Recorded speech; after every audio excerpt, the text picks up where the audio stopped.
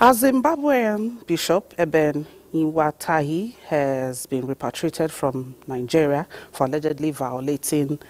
uh, immigration laws. In a statement, Public uh, Relations Officer of the Nigeria Immigration Service, Kenneth Udo, says the clergyman arrived the country on a tourist visa but was found to be participating in Methodist Church leadership election process in violation of the terms and privileges associated with the tourist visa as provided in the Nigeria Visa Policy 2024. The statement adds that while the Nigeria Immigration Service encourages lawful inflow of foreign direct investment and individuals engaging in business and social activities as key facilitators of economic growth and development, it will not tolerate any violation of the country's immigration laws.